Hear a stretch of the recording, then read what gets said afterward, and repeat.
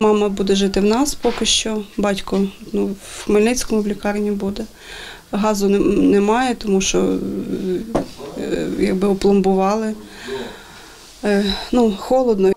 Над цією квартирою після прильоту повністю зруйнований дах, розповідає дочка власників Оксана. В самому помешканні обсипалась стеля. Ремонтувати, каже, будуть частково за кошти благодійників, зверталась до міської влади. Сказали, щоб ми своїми силами відновили все. Е, Дія нам віддасть кошти або е, держава. Я написала е, на своїх сторінках про збір коштів від знайомих, друзів, друзів.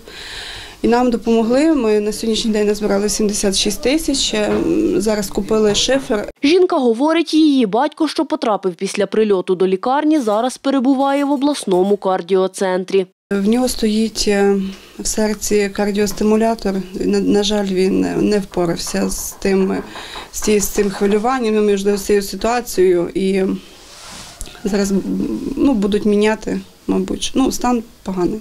У двоповерхівці на чотири квартири половина покрівлі повністю зруйнована, половина частково. Ремонту дах не підлягає. Його комунальники перебудовують заново, розповідає головний інженер комбінату комунальних підприємств Старокостянтинова Тарас Лактіонов. Допоки не відновлять дах, каже, будинок непридатний для проживання. Працюємо без вихідних, тому що людям треба зараз чим найшвидше накрити, щоб не затікало, не дощ може бути. Ліс, шифер, все наше. Все ну, міська рада нам виділяє кошти на придбання, то й ми закупляємо і робимо, працюємо.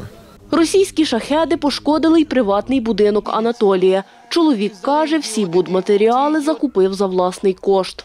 шифер, порозкривало, то вчора по-новому робили до ночі. Хто вам допомагає сьогодні? Друзі, Встигнете перекрити шифер до зими, щоб до холодів? ну як же?